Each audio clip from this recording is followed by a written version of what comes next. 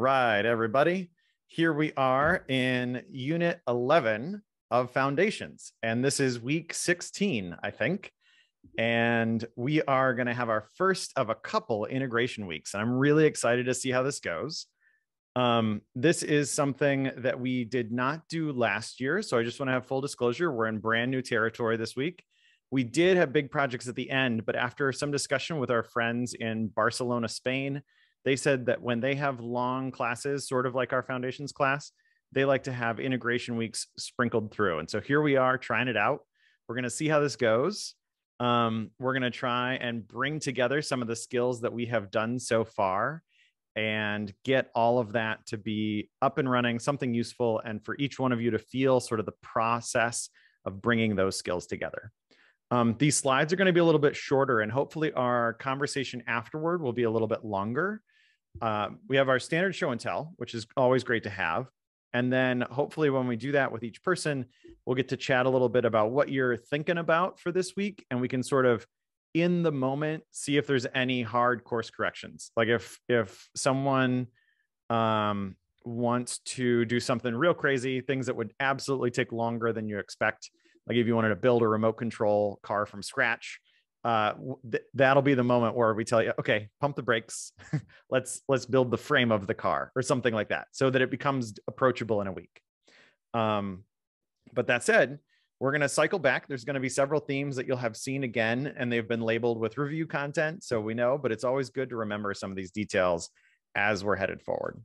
So, our game plan for the week is going to be to cover these things and and really it's all about integration which is a skill that we absolutely want to practice. The one of the big themes of this entire course for all the foundations is that um, these skills are more than the sum of their parts that when you have them together collectively you can do more cool things than if you had just picked up one or two of the skills uh, independently. And so this is really a chance for us to bring those things together.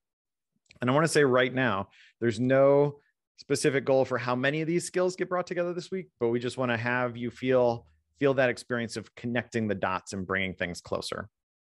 So, we're going to talk about design goals and constraints and sort of procurement limitations. We'll talk about generating active, actionable ideas, which is circling back through brainstorming and design thinking, how iteration is always better. Some of these things you've seen before, and then the big the big thing that I want to make sure that we focus on is integration purgatory, uh, or sometimes people call it integration hell, where you're building parts, you plan failures, you troubleshoot, and things get that's where this week's experience is really going to be anything new, is in that place. And then some project suggestions for stuff that might happen by the end of the week. And so we have some ideas that could could be helpful. So first up, if you're going to do a big project and you want to take something on or a week long project, the first thing you're going to want to think about and define are your design goals and constraints. And so with with that, it's good to set yourself some pretty clear goals. And you know, businesses or schools or whatever, they all like smart goals, right? Specific, measurable, attainable, relevant, time-based. Because you're all adults that have had to deal with the workplace in one form or another. I'm sure you know what these are. Uh, they are cheesy or fantastic or whatever you think about them that i mean you've got plenty of experience but the key is that having a well-defined goal definitely still helps even within a makerspace and so just knowing what you want to make can really be a start. Um, in my life, I've definitely had times where I knew I needed to make a project. It needed to come quickly, but I, I had no idea what I wanted to do. And if I had a week timeline, it might take me until like Wednesday to know what I'm even trying to make. And if that's the case, then it's going to be really hard to produce by the time you get there. So setting up your goals early, really thinking about what you plan to do is a is a great way to get started. And so hopefully by the time we leave tonight, you'll have something that you're thinking about uh, that's hopefully actionable or that you could at least research and verify like, is this what I want to do? And so that's that's sort of the goal. Um, and the big part of this is always time is our big factor because time goes quick. Um, with time, we've talked about this before. We we have described this previously we want to focus on supply side time management where you're in charge. So think about the time that you have this week um, because this week is different from other weeks. You know, you might have meetings on Wednesday or things going on later on in the week, or maybe you've got lots of extra time because it's still kind of a surge and you don't want to go out and see anybody. Whatever the case may be, um, think about how much time you have and then choose a project that fits that time frame don't choose something that's way too big for what you've got time for so that it doesn't like take take the reins of the week and then have you feel frantic over over this stuff that's that's mostly supposed to be for fun um, and so the big thing is that you want to be in charge of this and and we've said that before it's just good to say it again another thing that's really big to think about while we're talking about big projects is scope creep so when you're choosing your project, you're going to need to make sure that you very carefully define it and don't let it keep growing. At least don't let it keep growing this week. You want to keep that very tightly under wraps. And, and as we're sort of in this review section, another thing to think about is does your project have a direct linear order? So if you're thinking about a project, does it have to be done one thing, then the next, then the next, then the next, and you don't get to vary? Is it all in series? or can you do parts of it in parallel like can you 3d print the housing while you're working on the electronics right those sorts of things would be perfect if you could just set a machine to do some work for you while you go work on another thing while you're MakeHaven that sort of closing the loop is really helpful to make these things feel productive especially maybe you come in on monday and you set a print up and you you let it go or you come in on on tuesday you set a print and then you come back on Thursday when I'm going to be there for office hours. We can work through the circuit, and you've already got the housing like ready to go, so you can pop it into the place where it's going to live. Um, those sorts of pieces are really important. We've talked about it before, but if you can, if you're choosing between two projects and you know that one has parallel development, this is the week to choose the one that's got the, the parallel style. Uh, also, start simple. Don't don't start with a big complicated thing. We want to go with the simple stuff first and go through it that way. So we've talked about this before how Legos were just bricks at the beginning. Then in the 80s, when they sort of moved to a lot more in America than they used to be prior to that, they got to these sort of simple designs, and now now there's crazy things. Uh, you can my my family is is all about these like crazy Lego designs. It's the holiday gift of the year this year. So and then the last bit is to document as you go, especially when you're doing a project that feels unique and novel. And this is one that always gets forgotten for me. It's taken a lot of discipline to get better at this when I'm doing projects, to take a photo at the end, you know, take a picture of that beet pie that you made throughout the week, take a picture of the the wood when it's cleaned but not fully cut to shape, those sorts of things, get all those little details. Uh, and I've seen some of you be really good at this. Arvia is fantastic documenting all of her stuff, always getting pictures and videos and things. This is definitely something to keep remembering all the time. So, that said, we've sort of that's that was a review. So we just sort of cranked through those things.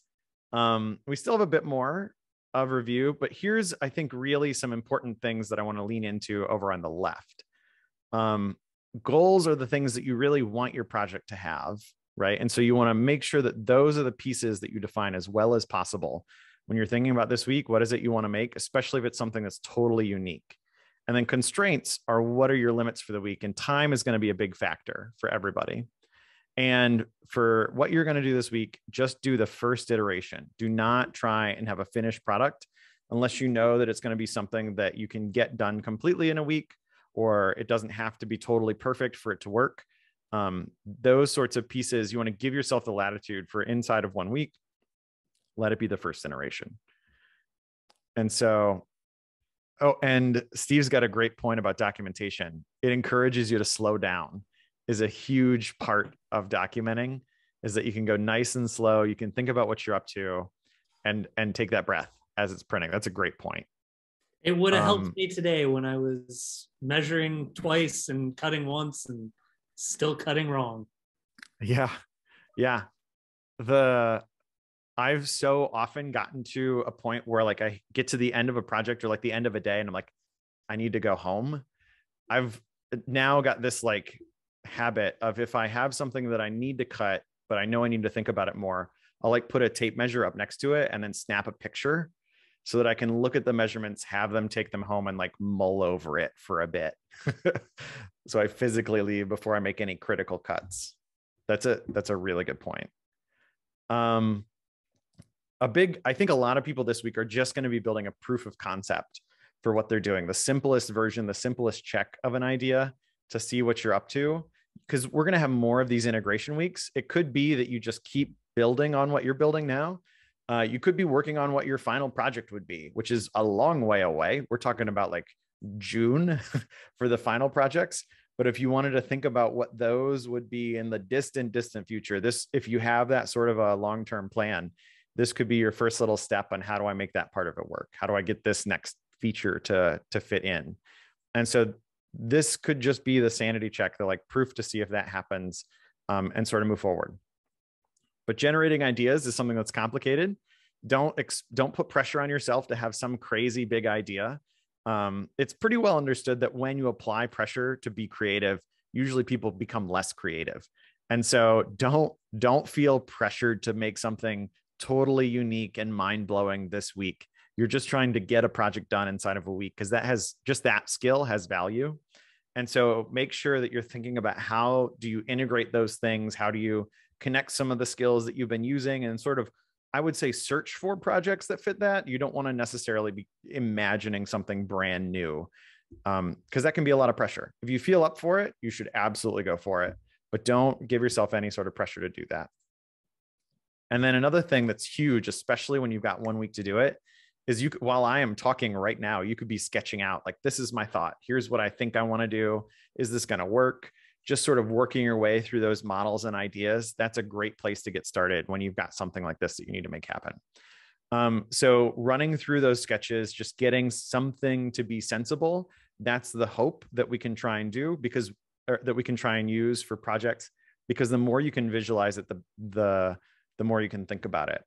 I am particularly fond of 3D modeling. So for me, if I have a big project, I'll often hop into 3D design software because there I can sort of express my ideas about as quickly as I'm having them and I can get specific with it. That's not going to be true for everybody. Fusion 360 is a giant behemoth. We know that. Um, but a little bit of a sketch, something to get you going, that can totally be a great way to get started and just give yourself a check before you dive in full steam ahead for the week.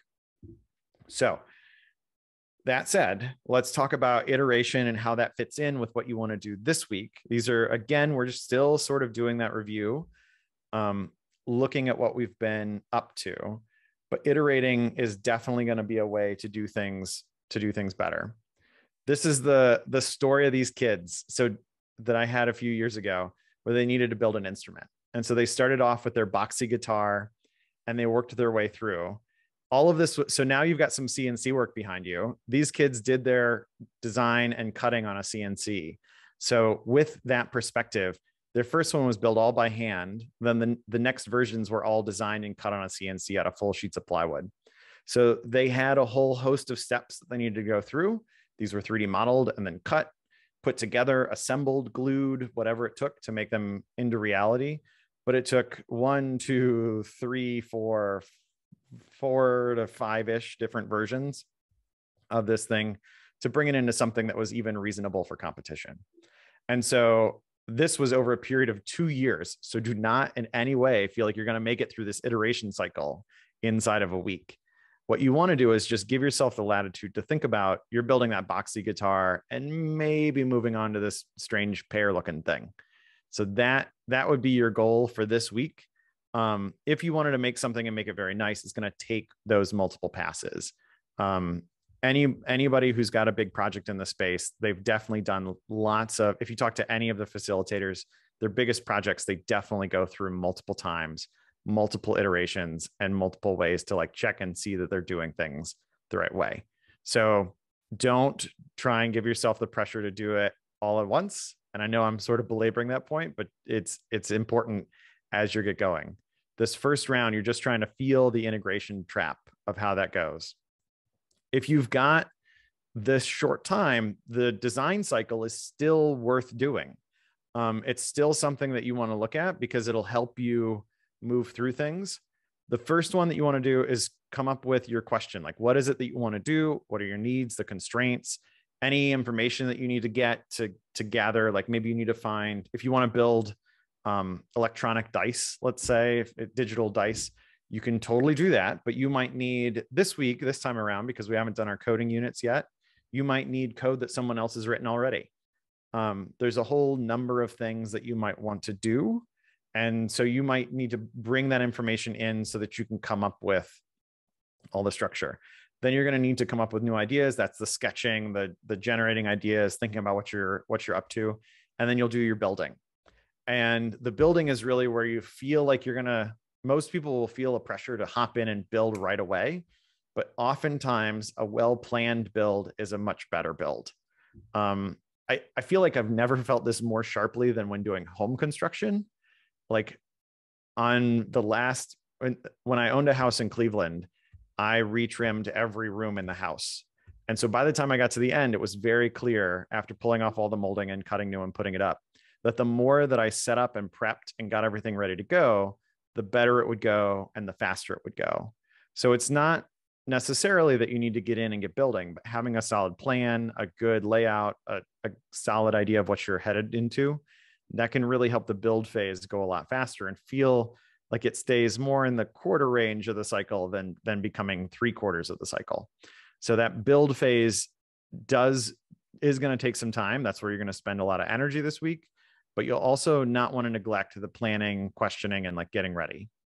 Then when we come back to show and tell after this week then we're going to have a really interesting time evaluating. Uh, my thought is that we'll have a lot of people really feel the same sort of pressures from the week but when you're when you're doing this the big thing is that you don't want to put too much value on your first attempt. Um, it might even we we might see that most of you want to practice the same thing again a second time or maybe you'll move on to something else since we're going to have more of these integration weeks. But doing this cycle just once gives you some value and feel feel that process going through. What do you want? How are you going to do that? Then doing it and then evaluating what you did. The more that you want to build something or like these kids who built their who built their guitar they couldn't tell how well their idea was going to work until after they had built it right? So th- in that case it's a very clean border to that. They built this egg looking thing. They were very excited about it but apparently you need to have really good uh, sealed walls and these extra long tines hanging off the top they were not helpful for them but they didn't know that until they until they built it um, and so just running through the first time on a project, you're going to learn a lot more. You're going to feel a little bit better about going through it, and you'd be better off for your next pass once you once you've had this round go through once. If we're thinking about that in context of spiral development, the first pass is just giving you your minimum viable product. This week, um, you're not building the perfect footstool. You're building an existing footstool uh, something that's quick that feels like you're integrating all the pieces if you want a you know a, stand for your tv to sit on you want something that that will hold the tv up and if you want it to look nicer maybe you want to add doors or drawers or any of that later if you just want a tv stand maybe it's sort of like an open shelf at this point sort of an open boxy bookshelf you don't need to have all the trim the details any of that figured out inside of a week just give yourself the minimum that it would take to get the to get the week's work done um, and then when you go through, you'll sort of see what's better, what's what's worse. How you gonna how are you gonna move those things around? How can you get there? Or maybe you just build a mock-up. Maybe you build a test, something that is to be in the right direction, that's headed in the right in the right path, but isn't giving you your your overall finished product. You're just getting a much better sense of where you go for the next pass through.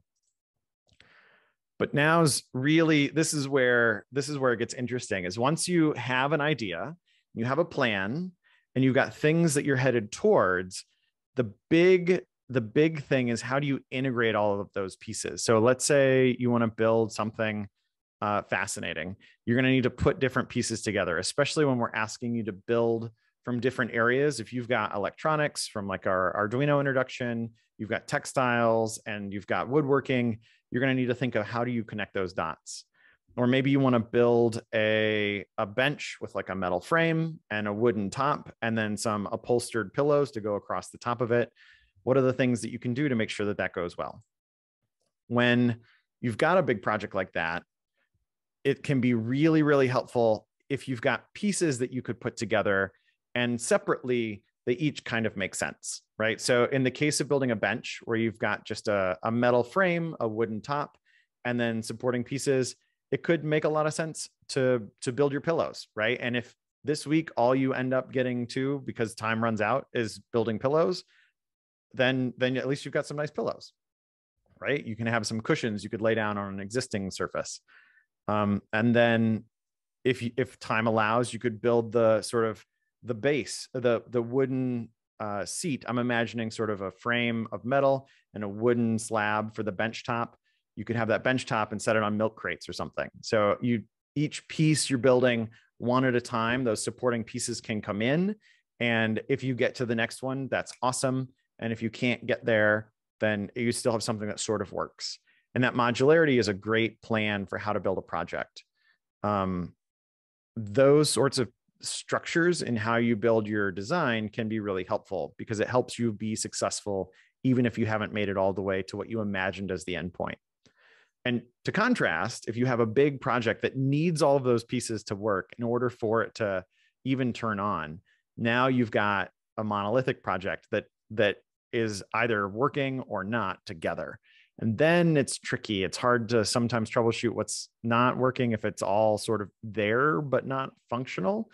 And the other piece is that if you don't have all the pieces in part, pieces and parts in place, then the whole thing may not work and you'll feel you won't feel that like in uh, little steps of success along the way. So having having a project where you can find some level of testing, some level of progress is going to be important as you're making your selections this week. So try and look for things where you can do modular pieces, um, where you can try and have success as you go. And another thing, as you're working, and this is an important piece for integration projects, for the process of integrating, is having some planned failures, especially if you've got um, some of these things where you're you've got a complicated project and it's got lots of different pieces um, I've definitely built things where I make assumptions about how they're going to work, like the Rube Goldberg contraption up here at the top. I've built things that feel like that, where I'm like, okay, this is going to work if step if step F leads directly to G, leads directly to H, leads directly to I, and I'm sort of imagining this magical world where all the pieces fit together really nicely. And unless the bird catches the toast at, at step E, everything falls apart. Right. So thinking about how you move forward in a project can be really important and checking to make sure that things are going to work is really important especially if you're imagining sort of like how's it going to break or how or can you plan on how it's going to break? Like if you're trying to build um, a sign that you want to put that you want to screen print something on and then you want to sort of hang it as a big feature in a living room for a decoration maybe you need to and you're going to weight the bottom with a, a chain that you sew into the bottom of the fabric, right? So you've got a big panel you're going to hang up on the wall and you want to screen print something or like a pattern onto it with a series of screen prints and you want to hang it from a wood piece at the top and something heavy at the bottom. Uh, you'll need to test to see is your fabric going to be able to withstand the strength, right? Does your fabric tear? Or if you've got something that's electronics, right now in the space, I've got my light up jacket, the one that I had on screen last week. And will the batteries last? When I walked away, I left it turned on and I think the batteries are good for a day or two.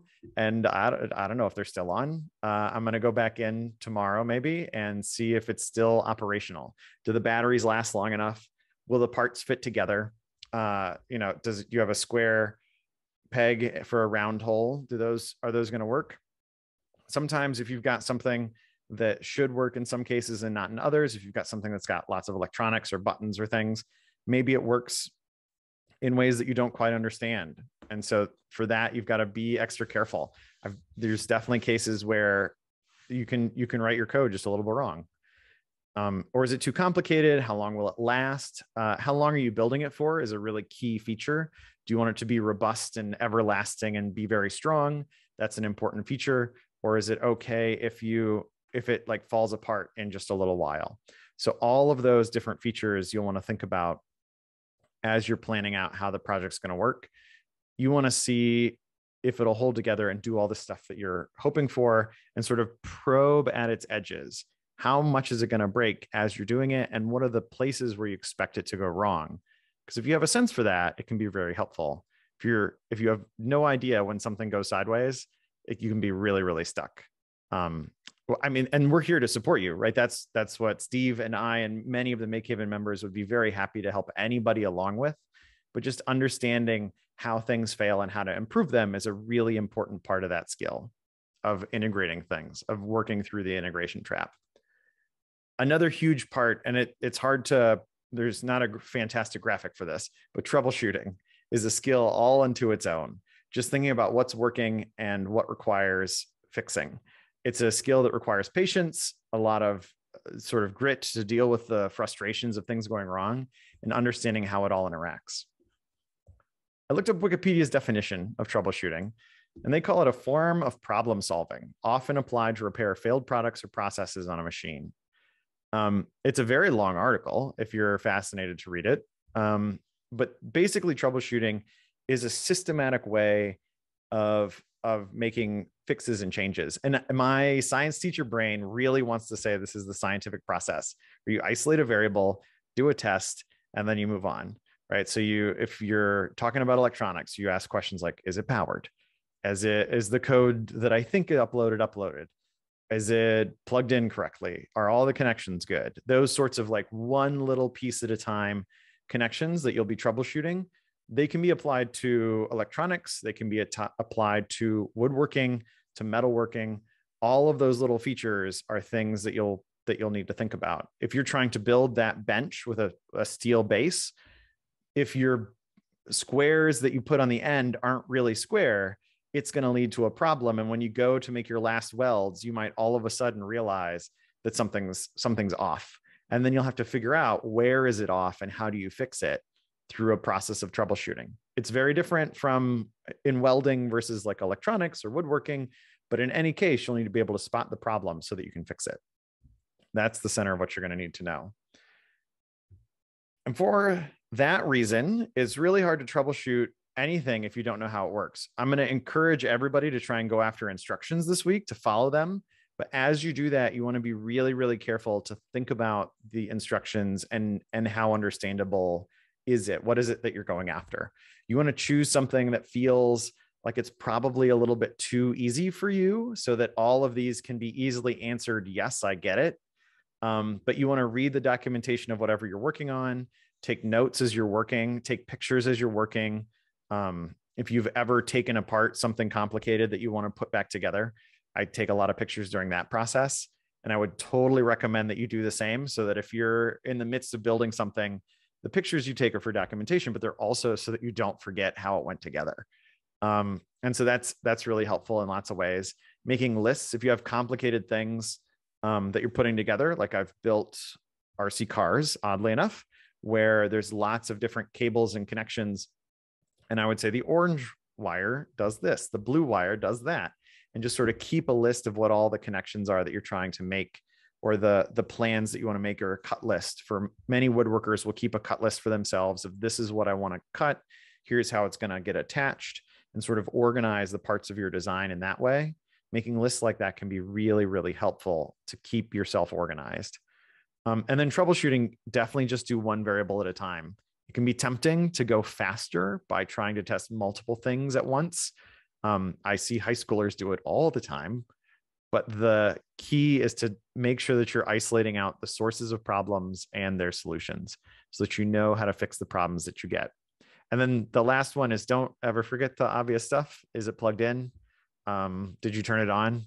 The is the you know the, the pieces that you're looking for that of course you checked it right those those always get me and i always get them much later than i think i should so be careful and give yourself the latitude to check that sort of stuff also so those those are the general pieces of advice. Uh, and now we're going to try and apply it to some examples. So i've got a few things that i picked that i think would be really fun if you wanted to try these.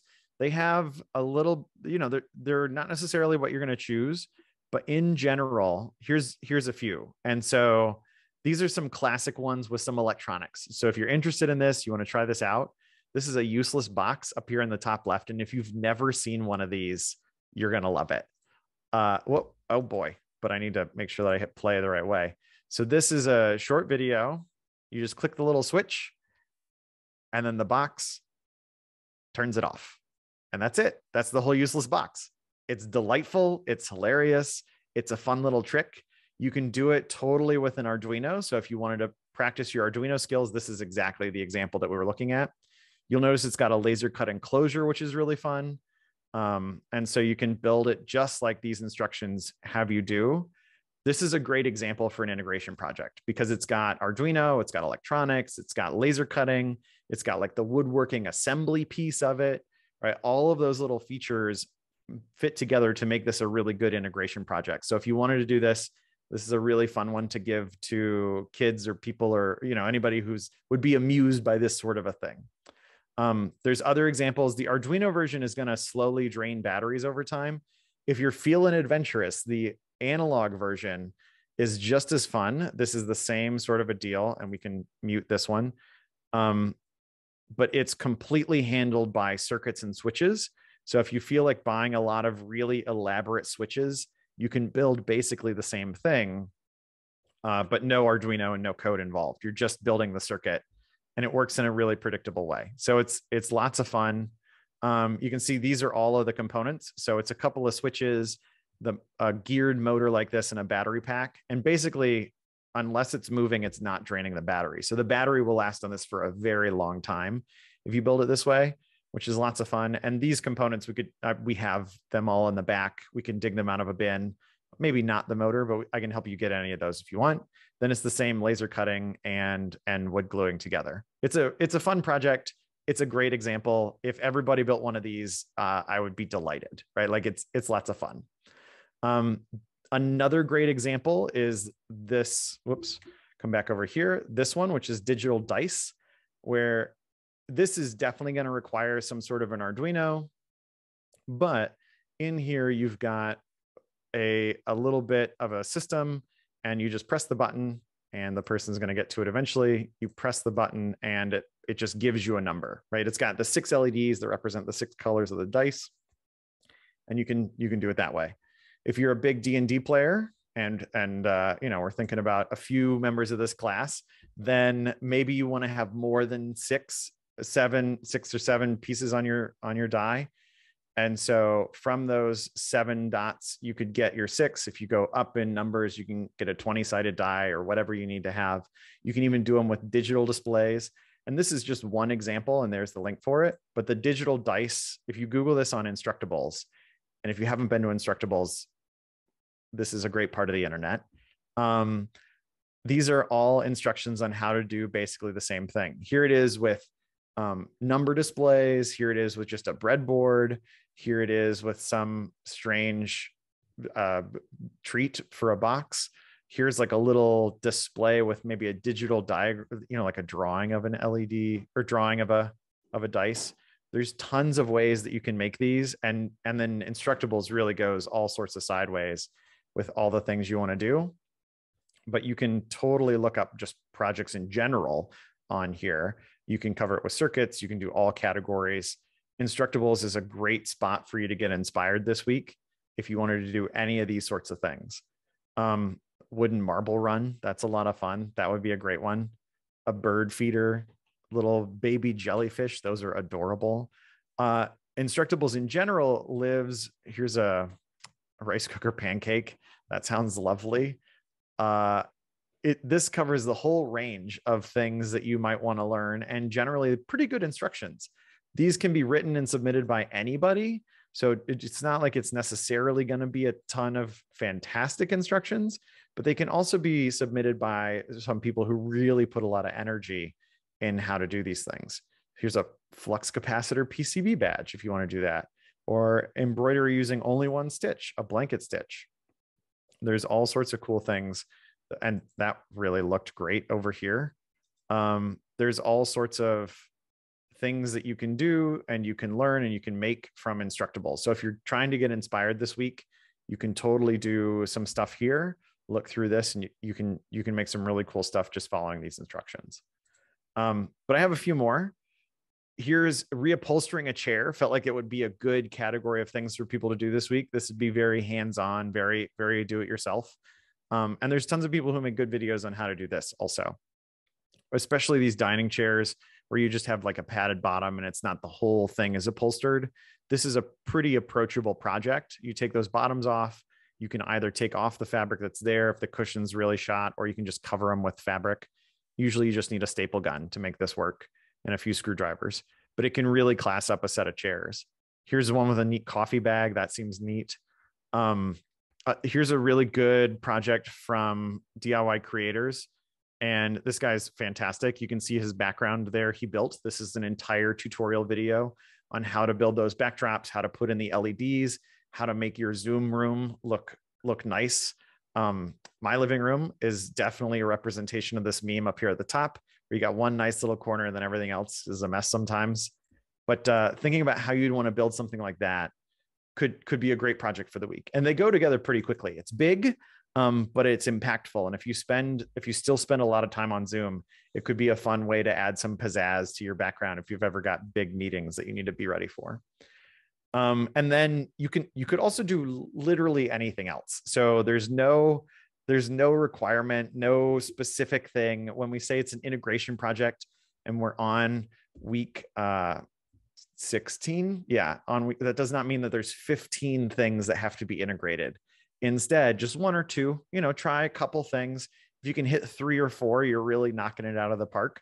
We just want you to try and do some different features of what we've been up to and integrate them together going from idea to product inside of a week. Just that alone is going to give you enough of a struggle that it's it's going to be fine. Um, but definitely definitely definitely for this first round there's two you're going to hit your cognitive load for the week because you're also busy people with other things to do. So don't try and imagine something carte blanche unless you're really into it um, and have the time. What you want to do is follow some instructions and sort of make those connections as you go. You'll have plenty of creativity within that space but putting guardrails on that for yourself is going to be very helpful. Um, but with that it'd be cool if we had all sorts of you know a bunch of diversity in what people make because it'll be really cool to see. Don't don't try and check all the boxes. Do not try and be the the thing that we're the most proud of at the end. What you want to do is just make something that you want in the time you've got to work. Don't try and overdo it. That is going to be hard enough just to make the thing that you want and to make it happen inside of a week. I promise you i've done lots of these like sprints where you try and be creative and build something all inside of a short time frame. And any sort of a sprint project like this is going to be hard enough on its own just because there's limitations uh, you've got to think about how where are you going to get your materials? Where's the stuff going to come from? There's there's going to be lots of different hiccups that will make it harder than you think for just a week. Like getting your materials alone could be tricky. Maybe you've got something that you have to order from amazon. You don't know if we have it at MakeHaven and you should definitely ask because we have a lot of weird electronics in the back. Um, wh- where are you going to get the stuff from? Does it take four days to come in and then you're stuck with just three days left in the week uh, how does that work out? Then if you're coding if you're using code that you didn't write and you copy paste it in it can be really hard to troubleshoot what's not working. Again we're here to help you with that. There's there's electronics facilitators. I can help um, uh, we can help each other. There's tons of ways that we can get better with that. And you're going to get better at code as we move through the next couple of weeks which are the coding units. But um, for right now it can be sort of a mystery if you have a code problem and you're not sure where it came from so those things can be tricky. Troubleshooting electronics, if you're building something on a breadboard, breadboards are fantastic, but they also are a little spotty. Um, if you get stuck on a breadboard, here's, I'm going to just pull this up Tinkercad. Tinkercad is a great way to, to test something. And so let me do, do, do, do, do. Tinkercad, sign in with Google. Tinkercad is fantastic because you can fully and totally, in addition to 3D designing things, you can also simulate circuits. And so here are some circuits that I have designed.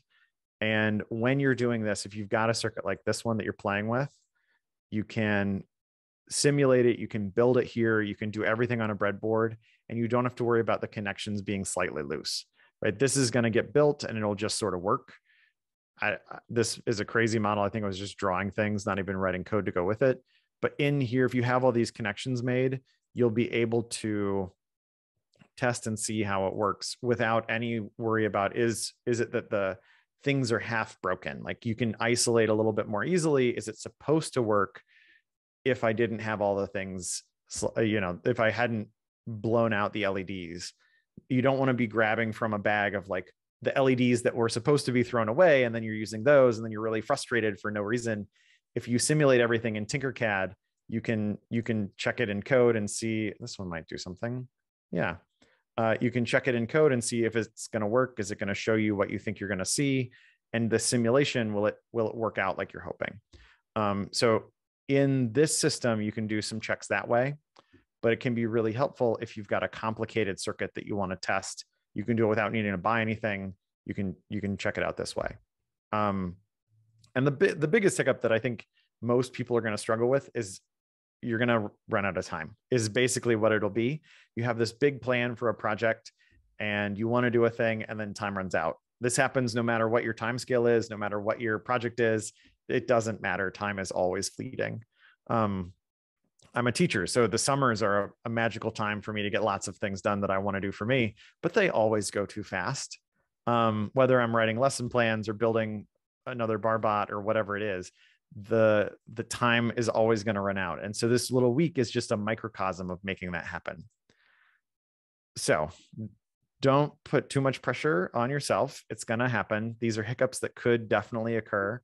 Um, two two of them are electronics based. So if you want to avoid electronics because you feel like it'll be less mysterious when you have mistakes, that's totally understandable. Um, but there's a whole number of ways that you can be successful. And so just plan. It's good to think ahead of what your hiccups could be. What are the things that could get you?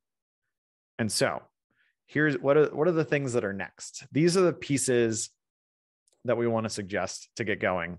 But the big one is that choose something that you think is too easy something that you think is not gonna is beneath you and it's not what you're you at the end of the week you may or may not be proud of it it's going to be hard enough because it's a week so that said steps that you want to go after first step is make a plan for what you want to do think about what could you get in time then think about what you want to do not necessarily what you want to do first because there's things you may want to do that if you just can't if it says it's got four weeks of shipping you're not going to be able to do it. So think about what it is that you can get access to and that you want to do. What are the areas that you could integrate in the project? And don't sell yourself short. I was talking with somebody yesterday or two days ago, and we were talking about um, 3D modeling and then cutting something out on the laser cutter and then gluing it together, all made out of wood. Just just by virtue of 3D modeling and then exporting a DXF and cutting it on the laser and gluing, boom, boom, boom. You're in three different sections 3D design, laser cut, and woodworking, all inside of just that one idea. And the and they were worried it wasn't going to cover enough. So what do you want to integrate? And and you might have more integration in it than you think you do at the start. So give yourself the latitude to go slowly and think about those pieces. Um, also make some sense about what's the minimum viable product that you're going to be happy with and don't shoot for perfection. Um, people who shoot for perfect, I have said for a long time, perfection is a disease it's not a thing that's real so you want to choose something that you're happy with and then and then know what you're going for um i mean when you're trying to bring a product to market. You want it to be perfect. But in prototyping that's that's usually not true. What are the constraints that you're playing with? So that's a big important piece while you're planning. Is thinking about what is it that you want to get done? What is it you're going for? And what is it what are your limits? Um, and time is one but money is probably another one. There's all those different factors that you'll want to think about um, for for what's going on. Maybe electronics is a constraint if you don't feel confident in that area or maybe sewing is a constraint if you really are still sort of just getting started with the sewing machine there's a whole range of things that you could be thinking about as constraints and goals and so make sure that you're clear about what those are then step two would be to get started and so run your sanity check if you've got a breadboard or if you want to if you're building a piece of furniture can you build it out of cardboard just to see if it's going to work if you set a can of pop or soda or whatever you call it in New England. Uh, if you if you can put a can of soda on it, does it hold up? Right? Is it strong enough that it won't fall over just out of cardboard? Um, for that mock-up or model. If you're building something complicated, you might need to build a jig, and that could be a first step. So if you if you need to hold something in place, or if you want to CNC a series of things, you may want to build a jig that you clamp to the CNC and then clamp work pieces inside of that there's a whole range of things that you might need to do to get ready to even produce what you're going for. Um, or maybe if you've got a, a long series of glue ups, if you're trying to do something very complicated in woodworking, you might need to do the first couple glue ups and sort of get yourself started and on the way so you even have the right sort of stock material to go with. Um, a, a big thing, and this is a huge piece, um, is that you want to definitely just get started in addition to planning and i have talked about the value of planning another thing is that you can definitely over plan So you want to get started at some point. If we get to like Thursday and you haven't actually put the rubber to the road yet, that's the moment where you're like, what I just need to start. Um, and so at some point, you're going to need to get things underway. You're going to need to get things going. You're going to need to cut the wood. You'll need to start welding. You'll need to, whatever it is, you'll want to get started so that you have something because you'll learn more as you're in process, right? As you're working on it, you're going to learn more because you're bringing it closer to reality. You'll be able to think about it more, add more details, and make those improvements. And if possible, make it through the design spiral again. Um, that, there's not a lot of pressure to do that multiple design cycle passes, but generally, the earlier you can get physically doing, the earlier and more times you can go through that design spiral. And then definitely document as you go for sure. Um, the integration purgatory is definitely a step that you're going to have. This is where it's the short, it's the short part of this list, um, but it may be a big part of where you spend your time. Once you're halfway through thinking about how do I get these pieces to fit together, right? I've cut the legs to my table and the top of my table, but they don't fit is an important thing to think about when you're doing your integration work. How do you how do you make changes? Do you need to make your legs smaller? Do you need to somehow make your table bigger? Those sorts of pieces you'll have to think about as you're getting through and you won't even know that you're going to have those problems until you're partway in. So integration purgatory is going to be a piece of what you're up to this week and you'll definitely want to think about it. If you haven't I'll post a link in the chat and foundations about the YouTube channel Stuff Made Here. He very vocally talks about his integration hell, is what he calls it, where he gets stuck and he's working and then he's in this loop for days where he just can't move forward because there's something stuck in the code. Um, it's a YouTuber that made a, a you know rocket powered baseball bat and all sorts of different crazy contraptions. So there's tons of different ways that you might build things but seeing about how you you move through that how you troubleshoot and move forward is really important. And then the fourth step is celebrate completion. Woo! that's the one where we hope everybody gets. Uh, and so having something by the end of the week can be really nice. It'll be really fun if people have cool things for next week's show and tell it'll also be really fun if people have things that are like glorious magical failures and i, I want to be very very clear that some of the best things that you learn come from projects that don't end the way that you want.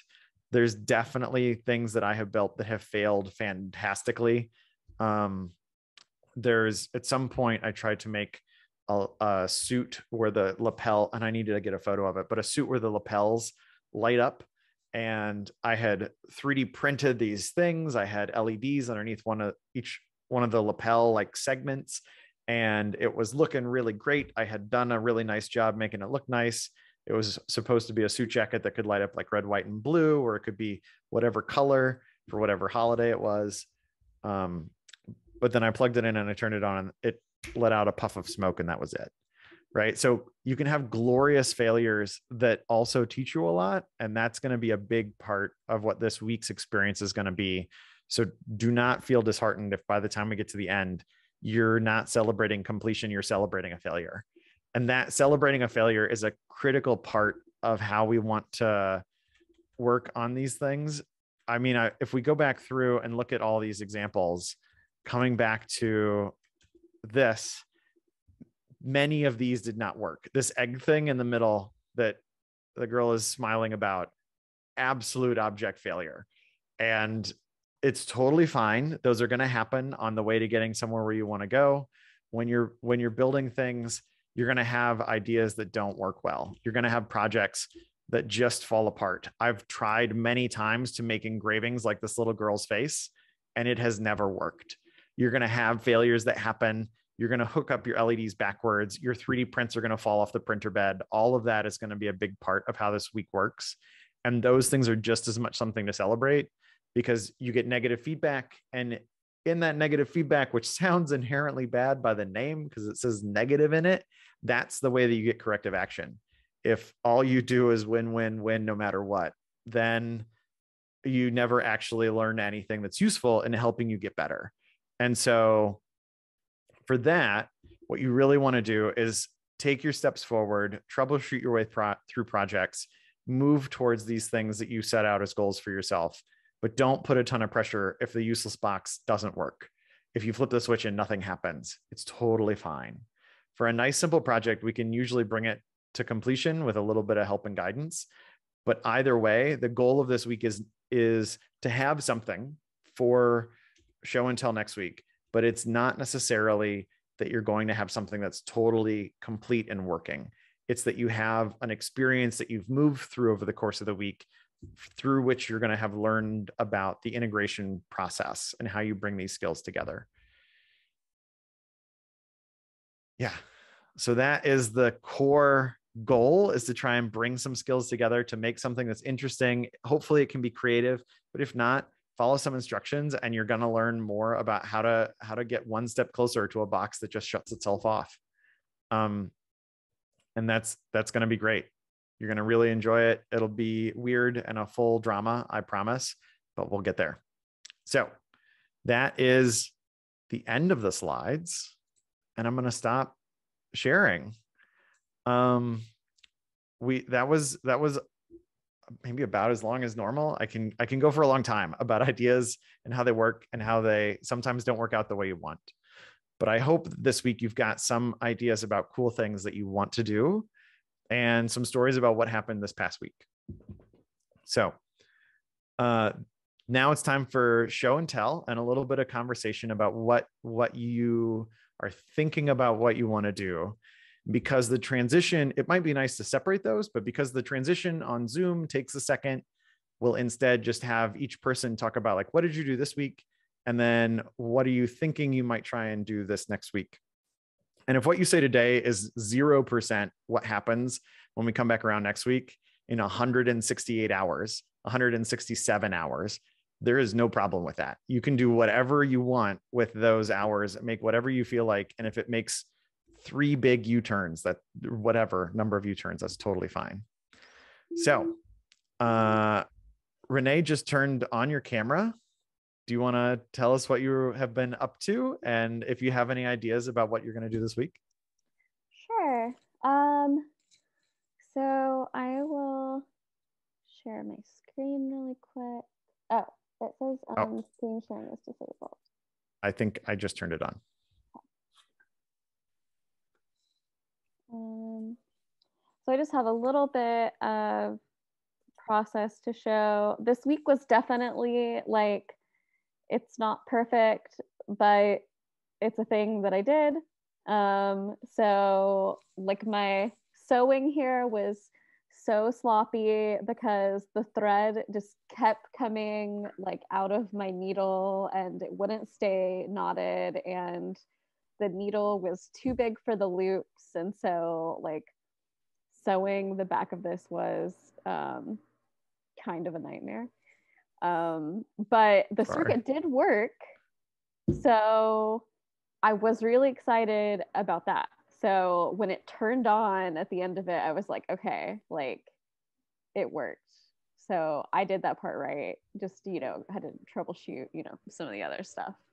Um, and I just did like a very, very simple punch needle embroidery. So this is not anything like, like I did this super quick, just sketched it out really fast. And um, you can even see some of the marker, oh, whoops.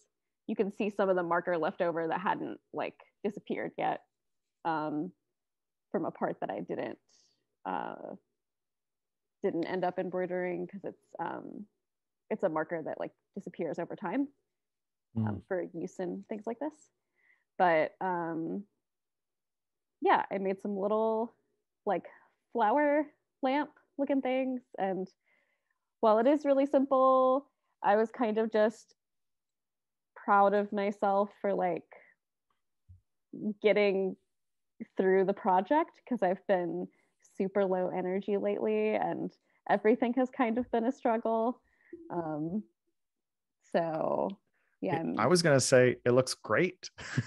I i mean i think for you it feels like a simple thing but i was like you nailed it on the two layers. You got a design that you put through. Uh you did the punch. It was awesome. Oh yeah i forgot to talk about the two layers of mm-hmm. fabric.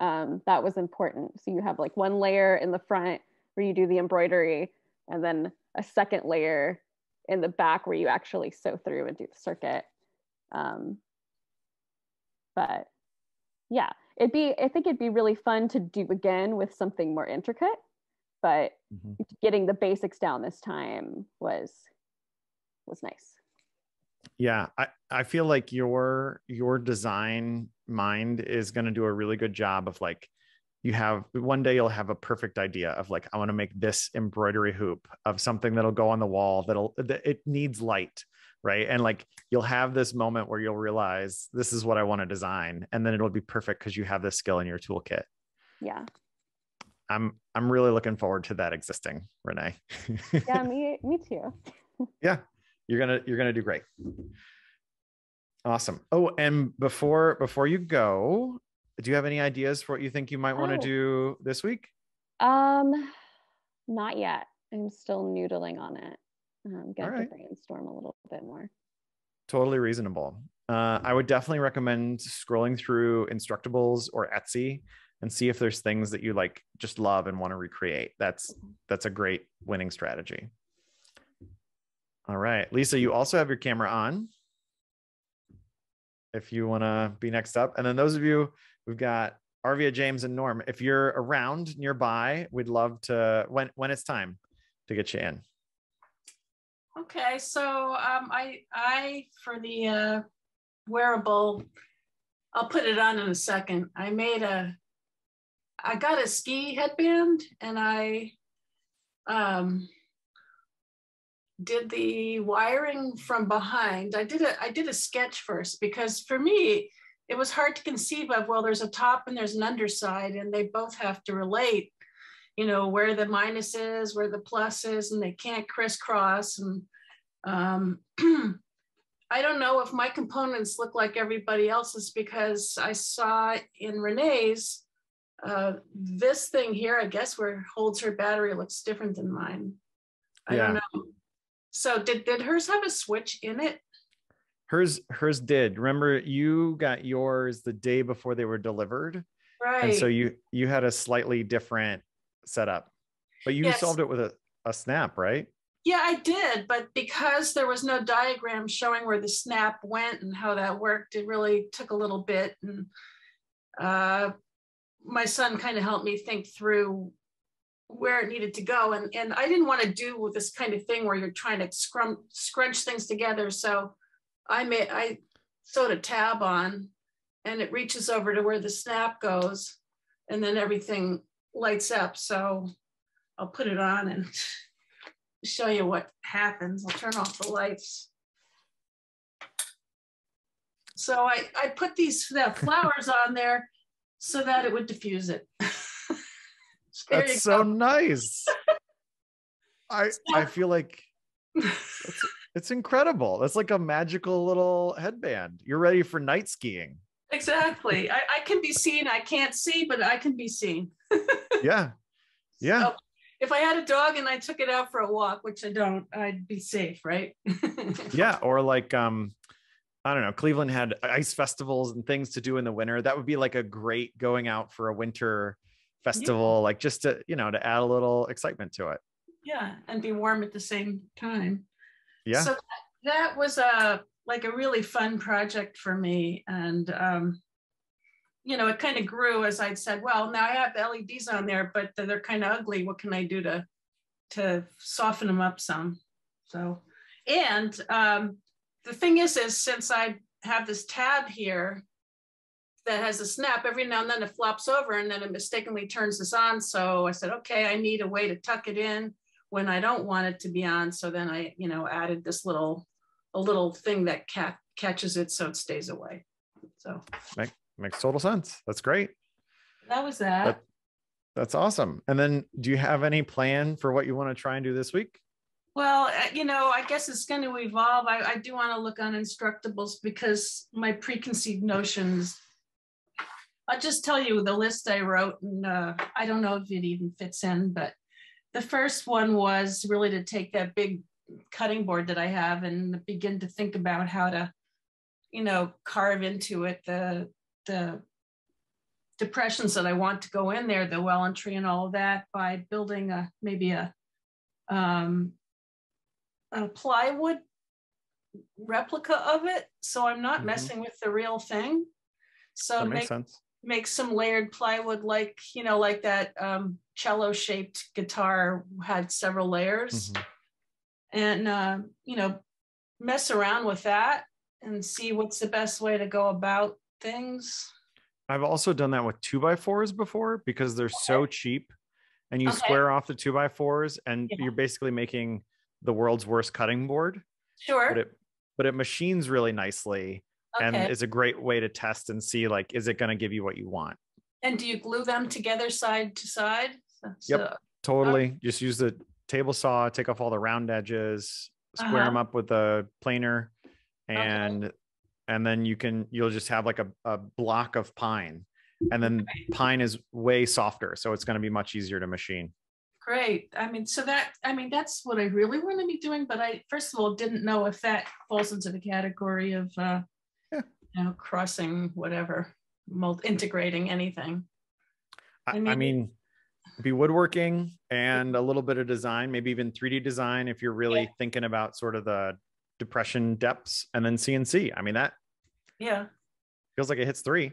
So, so, I mean, that was the one I really wanted to do, but if that didn't seem right, um, at least at some point in this life, I want to uh, make a table to hold my electric piano uh, and maybe laser etch a design in there. So, you know, that's another sort of thing where maybe I do a cardboard version now to kind of begin to figure it out.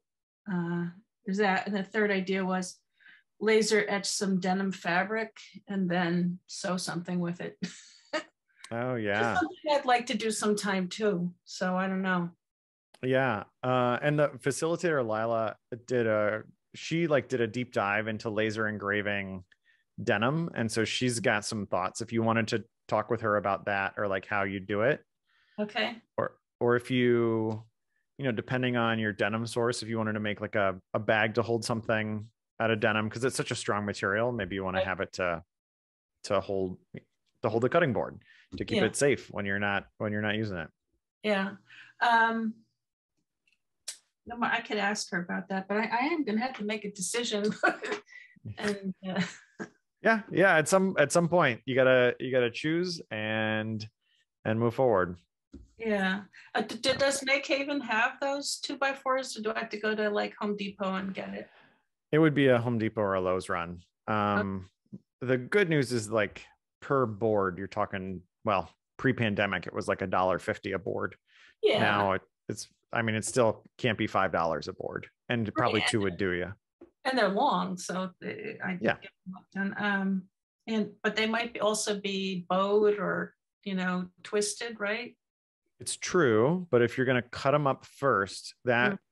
Takes you know if they're very bowed over a length when you Mhm. cut them up into 15 inch sections that 15 inch section isn't going to be very bowed Good. so you cut them up into the shortest length that you need Mhm. and then they're already a lot straighter and then if you need to joint them or plane them it'll it'll work nicely Okay, all right. Um, I might opt to, to try to go down that route, just because Okay. I, yeah. All right. Sounds I- good. We'll see. We'll see. yep That's it. all right james you were the next one to turn on your camera All right. Hello. Can you hear me? yes Perfect. Um, so in the last two days, I completed three projects, uh, actually four. Um, so from oldest to most recent, I finished uh, 3D designing and then 3D printed this kind of like modular stamp. So this is like a little handle, and then there's a plate that dovetails in there um, which is pretty cool. And it was really fun as a design project, but it's a terrible stamp. So don't 3D print a stamp. Um, and apparently this face has rubber so that you can laser etch it instead because that works way better. Um, but it was fun to do. So I did it. And then I also um, made this sign for my cat, which is his name, Rug, uh, to put above his food bowl using the V bit uh, and then I made a little light up embroidered constellation. Uh, you can see my embroidered handwriting is as bad as my in real life handwriting. Um, and I actually also kind of interestingly just use regular LEDs uh, as opposed to the stitch on LEDs. I just poked them right through the fabric and kind of bent them and so on. Um, this was really frustrating because it was a lot of it made me feel like my hands were like huge and I couldn't see anything, but it was a lot of fun to do. Um, so yeah, I also completely unrelated carved this spoon, which is like a serving spoon and it should be like this much longer, but I messed up. So it's a very short serving spoon. But that's what I did this week. And I think I want to try to 3D design a kind of complicated thing that I can either laser cut or CNC and assemble. What that thing will be, I don't know. Um, but now that I'm thinking about electronics, I'm like, hmm, maybe I should add an electronic in there, right? So yeah, who knows? choose choose something that you think is simpler than you need. don't like, don't how can I overcomplicate this? yeah, don't try that. That's like if you're done on Friday and you're like, I still have time and right. keep going. right. So yeah. who knows? I'm I'm probably gonna look at Instructables a bunch tomorrow. Um, like procrastinating from work and like kind of just get an idea and do it. Uh, so yeah, that's it. Makes cool. That makes sense. Awesome. Arvia, next up. Yeah. Um, I also finished up a bunch of projects this week. Let me share my screen. Um, so the first thing is, okay, just me. Y'all see my screen? Yep, it's coming. Um, so the first thing is this sign, well, Dylan's sign in the background, which I think I showed y'all last week. Um, so I finished it up, uh, sealed it with some rub on polyurethane, um, and filled the uh, engraving from the CNC machine with um, some off-white uh, I think it's polyurethane too, but plastic. Um, that was a really cool process. It has some air bubbles in it. It's not perfect, but I think it came out really, really great. And my nephew better like it and have it forever. Um, I mean, from the photo, it's I saw it in real life, and I, I'm seeing the photo now. Like the photo makes it look perfect. In real life, the flaws that you're talking about are like they're very, very tiny things. Yeah they are they are. It's really really nice. So i'm really um excited about that. Um the other thing is this now i'm gonna stop sharing my screen because i have it in my house. Pause share but how do i stop my share? Stop share. Okay. Okay so the other thing was that um now spinning thing that you saw it was spray painted in gold the non-spinning part but once I put the polyurethane on, the gold, the like metallic gold got really dull and I didn't like it anymore. Um, so I came home, here's, and I, it's like a stand for my records. So I filled it in with white. Um, I might go over it in black. I don't know. I'm not sure how I'm feeling about the white letters either, but either way, you can actually see the now spinning. Um, I really love that. I'm going to put it on the wall. Corey did my keyholes because that was a much harder thing than I was even anticipating in my head. I was like, oh, it's probably just a drill bit that you just, it was an easy process. But when Corey showed me yesterday, I was like, oh yeah, no, let's let's not. Um, and so he did, um, and Corey did it for me. Um, yeah. And I also 3D 3D printed. I did not design these. I found them on Thingiverse. These um, eyeglass holders. I have so many pairs of glasses and sunglasses just all over my room so I uh, printed this stand. This one stands up by itself, and then one to go on the wall, just because I wanted to see how this one would work. I'll probably um, print a couple more of one of the versions, and yeah, I think those are the things I did this week. Um, I didn't get to the the uh, the textiles um, yet, but I also want to do the um, the Scorpius uh, constellation on the embroider hoop. So hopefully I'll get to that at some point soon. Um, for integration, I'm also deciding like everyone else. I was telling Corey yesterday, it's a mix between doing something cool, that's fun, and like doing something for my house that I really didn't need to do anyways. So um, I'm actually gonna, I had drew this like little sketch of a TV stand. Sorry about that. A TV stand that I'm gonna like upgrade basically. I don't know if y'all can see this, but oh. Um, so I'm not building this. I already decided I'm, I don't feel like it. Maybe I'll do it at the end of this, but I'm, I'm not. So I'm going to get the frame probably like from IKEA or somewhere and like upgraded, if that makes sense. Um, and I want to put doors on it. And at first I was just going to do the fluted doors. I think I'm going to design doors on the CNC um, with like some carving in it, maybe, um, and stain it or something. I don't know. I'm gonna put the handles on. So that was one of the projects I was thinking. Um, I also want to try like uh, laser engraving, laser engraving on some some cloth. Um, I watched something last night and they started talking about the clothes falling apart. So I was like, all right, maybe not. Yeah, you got to be careful. It's like just getting the settings dialed in if you want to laser engrave on cloth. Right. Um, then the other thing was, wait, I wrote this down. A clock. I was thinking like a wooden clock, like maybe um, mm-hmm. designing the frame on the CNC or just building it by hand or something, and um, doing the electronics uh, behind it. Yeah. Oh, and for the yeah, door. Sorry. No, go ahead. I was gonna say for the door, I wanted to put like a magnet to make lights come on. Like mm-hmm. I don't hmm. know if there's a way to do a magnet when they close and then the light, or when it opens, the light comes on. I don't know. Yeah, you've got a treasure trove of good ideas. Um, the clock sounds super doable. I I've seen and actually in MakeHaven there's a really cool clock that I think Leor made that is a bunch of wood pieces that are just glued up onto the wall or screwed onto the wall.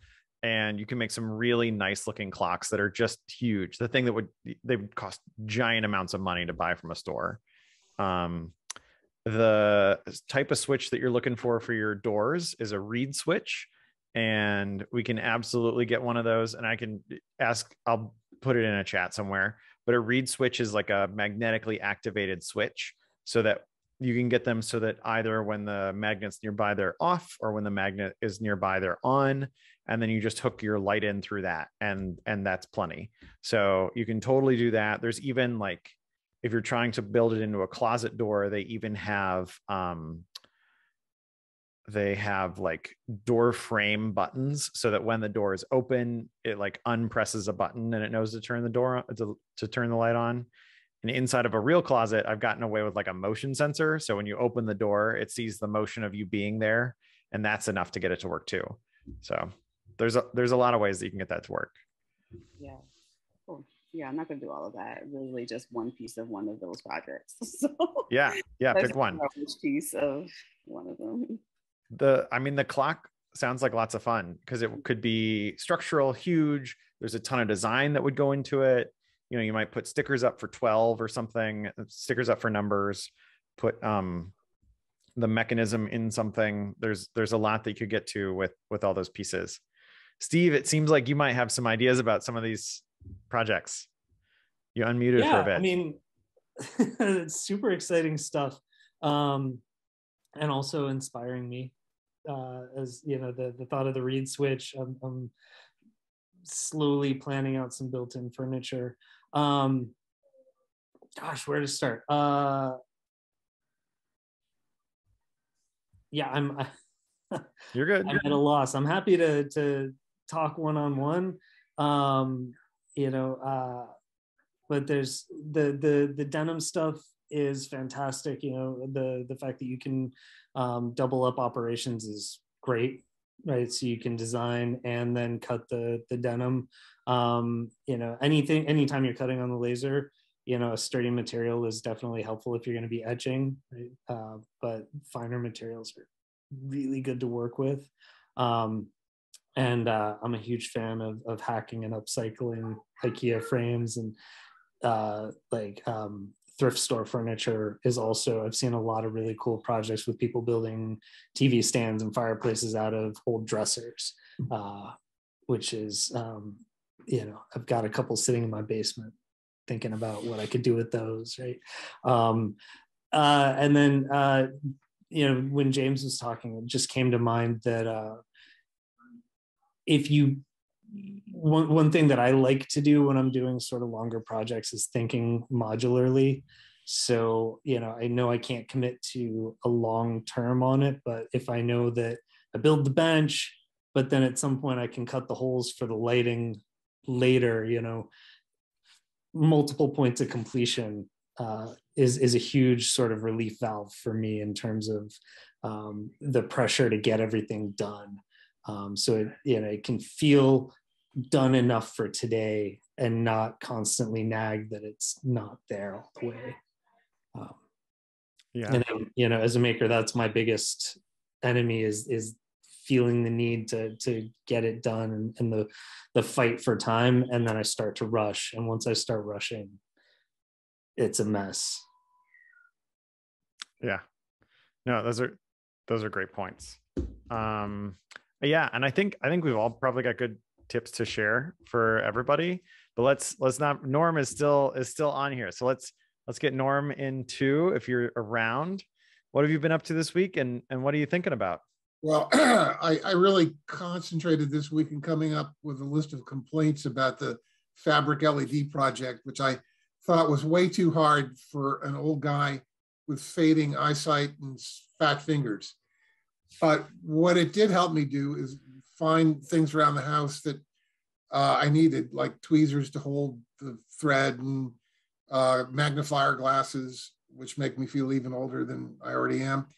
Um, so I got the um, I got the LEDs to light up, and then I I um, uh, sewed them in. At which point they no longer lit up, and uh, so then I tried to figure out what was wrong, and I tightened up the connections, and I thought, you know, maybe I hadn't. So in any event, then I took the battery out and, and I connected it instead with alligator clips to a, a, a nine volt, which I thought maybe would blow the stuff out, but it didn't, um, and it worked so um, and then I quit um, because I just uh, ran out of time, um, or at least time I wanted to spend on this frustrating thing. Um, yeah. So that's what I did, and then I also uh, tried to learn a little bit uh, in the background about um, Circuit Python because I thought that might be useful mm. to, to know for some of the Adafruit stuff. Um, and then um, for integration projects, I want something that I actually want. Um, and, and so there are a couple tools that would combine metal and wood that I might um, do, but I haven't got detailed thoughts about them yet. Yeah, there's, I feel like you've always had really good project ideas for things that you want to make and and the the intersection of metal and wood can be really fantastic projects. Um especially if you're trying to do some of the softer metals like if you're working with metal and brass like walnut and brass looks fantastic mm-hmm. and brass is a soft metal so it's it's fairly machinable. You can sand through it so you can you can make some cool things that that work in that space there's a ton of good um there's a few YouTubers like Tamar of 3x3 Custom. She makes a ton of walnut and brass things. There's a there's a bunch of good examples out there if you're looking for inspiration that way. So there's there's lots of cool options. Um yeah, no, that that's exciting. And and it is. It's a fiddly, you know, the electronics are always going to be sort of like little fiddly bits and we're going to hopefully be we're headed into after we get through this integration we're headed into computational wizardry which is going to involve circuits and code. And so the circuit python that you're talking about is totally going to be a, a feature. Adafruit really leans in hard into their circuit python. They like every every one of the retailers sort of picks a camp and staunchly sets their flag in that ground and Adafruit has done it with Circuit Python. They think that Python is a very easy to learn language. And so they want people to learn it and they don't mind that you kind of buy their things to make it happen.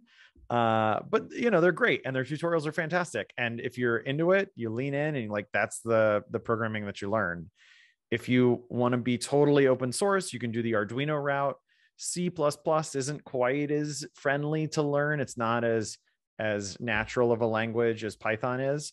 Um but you can you're talking if you really get that wrangled you can you can buy bare chips and like not need anybody to supply you with anything except directly buying the chips from manufacturers. So there's different reasons to go in different camps um, but we're going to start to explore that. And then we'll think a little bit more about how do you integrate things. But luckily I, I would agree with you. This is probably the fiddliest circuits. Textile circuits are probably the hardest ones across the board because breadboards at least like have clean places where you put things right it's a little bit a little bit more straightforward um, but you can go way down that rabbit hole if you feel like learning surface mount soldering or maybe you'd even like um, baking you there's a there's a version of electronics where you bake them in an oven and like it does most of the work for you in lining them up and making them fit together there's some really cool stuff out there for if you want to get get to electronics. Not in the oven you eat in. We have a reflow oven and i bought a skillet that was never ever going to have pancakes on it because it's got electronics goop on it but uh, totally you can bake your electronics and, and get them to work that way. It's it's a pretty cool process. Um so yeah th- there's um steve you got me really thinking talking to, like reflecting on the aggregate of those projects um thinking about things overall the choosing i i think my one reflection on everybody is you want to choose something today or tomorrow. Don't mm-hmm. like let yourself get to Thursday and still not be sure what you're going to do. Um, especially if you think that you're going to need to order stuff, you want to, you want to, even if it's not your favorite idea forever, pick something by the time we, by the time we're in Wednesday, you should have ordered whatever it is you need to order is, is a big takeaway. Um, another one is if you can build any sort of a model early, do it. If you can build something out of cardboard, if you can mock it up, if you can like go buy the clock mechanism from a hobby store totally go do that so that you can see what you're really working with and start to make decisions based on that especially the clock like whatever clock center you buy is going to be a big deciding factor in how everything else flows so buying that as soon as you can so you can make choices that go along with it is really important. Um, the same thing would be true if you're if you want to do some circuit stuff right? You're if you want to build the digital dice you're going to need to decide pretty early are you going to are you going to be using little tiny leds big ones somewhere in between?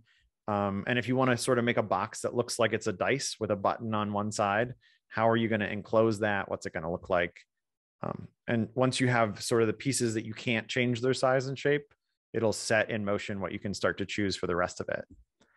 Um, and then are there ways that you can build your prototype? Like for what are the prototyping materials that you can use? How can you do a cheaper, like Lisa has a pretty mission critical piece of wood for your cutting board. And so how how can you test like just knowing that you could do it out of out of pine uh two by fours is a big help because that way you can build a test one, run everything on the test one, and you're not at all risking your your precious one. And if you're, you know, by the end of the week, you've just made that one board and it's sort of loosely in a shape that you don't even like, you've at least run through the process and you've really gotten to see a lot of learning from just one week's worth of work. Um, those those sorts of strategies headed forward can be really helpful. Um, and don't don't try to build a piece of furniture inside of a week right? Like that that's going to be something that a professional woodworker would be good at but none of none of us fit into that camp. So it's good for us to take our time and go nice and slow and choose choose the thing you're going to work on. I'm going to also try and get a project on this week one that i had started a while ago. It's my like giant panel of buttons. I need to put some polyurethane coats on it. I need to paint it. I need to do some code um, and get things working but my hope is that by the end of the week i'll have a project done and this is me trying to hold myself accountable to that by sharing with all of you that I want to get that done. I'll post photos of like where it is now and then where we're going, but mine's going to be a, a bunch of things all integrated together. So hopefully I get in tomorrow for a few minutes and just put a couple coats of polyurethane on it so that I can start painting um, after that. But the getting getting a project up and running and getting steps in is the biggest thing. Getting started is a lot harder than even moving through it. Like once the project that I'm saying I'm going to finish, I've already got started and that gives me a head up. If you're just trying to imagine what you want to do, it's a real mental block to to be sort of stuck in that early stages no matter where you're at no matter how long you've been in quarantine uh, the like first bit of deciding what do i want to do and how do i get started is is essential and not to be underestimated Stephen, do you have any good examples of projects that you've been stuck on? I feel like yard uh, projects always got me stuck. yeah, I mean, I, I, my projects are usually in in the ones that are stuck for me are the ones that are stuck because they're too lofty. Um, oh yeah, and I can think of uh, yeah, the one that that sort of haunts me when uh, when I think about making stuff is uh, an, an outdoor bar countertop mm. kind of thing.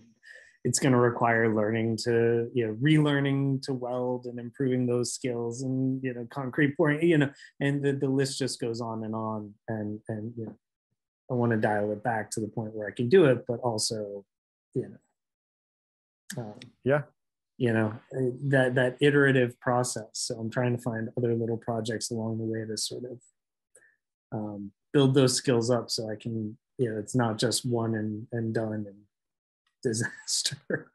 No that makes that makes sense. Ooh, even just thinking about your concrete because i made i i think you know i've made concrete countertops once for that house that i did all the trim in. Um, i also made a concrete countertop and that that's a whole other discussion for us to have at a different time but just thinking about that I, I think my first step would be to make a slab to make a mm. concrete slab and then do pay like do brickwork on top of that and then a concrete surface across the top. Yeah. Um, so that the slab, you know, like as the ground heaves and haws, everything is moving on that slab, riding it like a very slow moving boat. Mm-hmm. yeah. But th- but then you've got little little steps, right? Like thinking about that as an example, there's your little your little phased set of a project. So if everybody using using your example, um, setting a concrete pad could be a great first step where you're like, it's going to be a lot of work.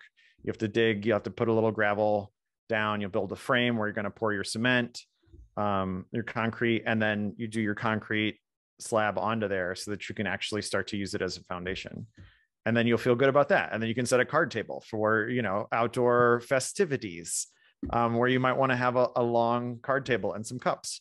Those that is like a good first step and then you figure out what sort of stones do you want to lay. That having those breakpoints is a big is a big win. Um the robot bartender that i built you know the first tests were just proof of concept things and then i built one that was pretty crappy. It had like three drinks that it could make and then i built one that was slightly better and then you know like by the time i have a thing that i, I will not touch for a decade it's going to be like version 8 right? It's not going to be any of these projects that are big projects that people get really proud of, you never ever accomplish them in a week and you never ever do it on the first pass.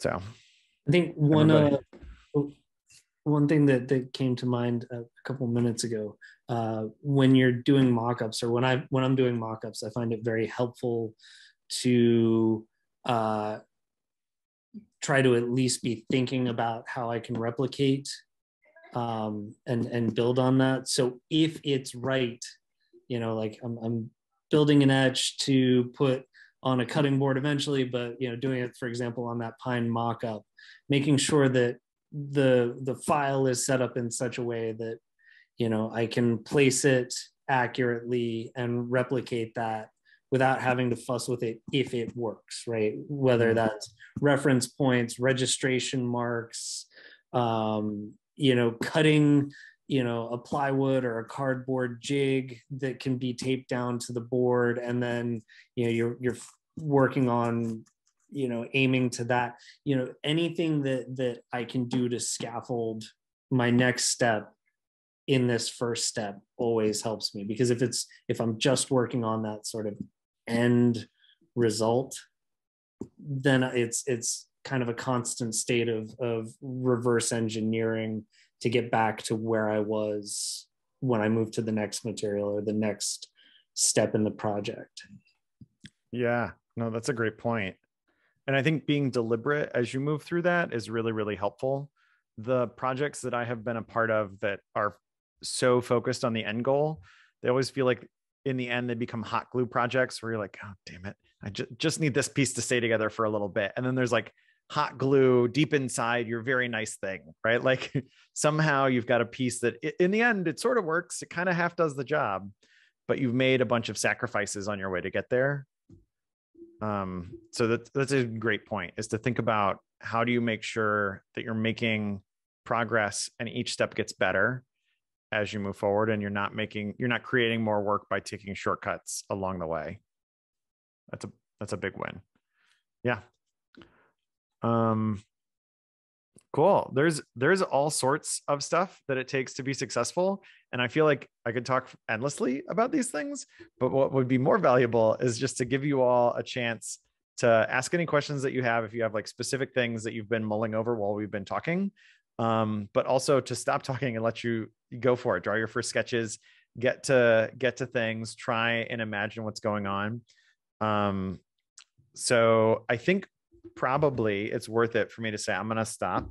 And anybody who wants to unmute because there's lots of you with your cameras on and so you might have questions. And so i want to stop and see if anybody's got questions that we can answer